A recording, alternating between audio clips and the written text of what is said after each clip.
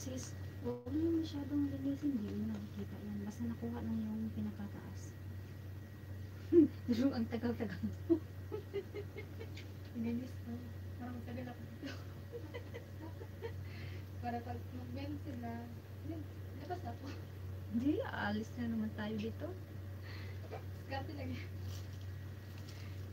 Kala ko ba, tagal-tagal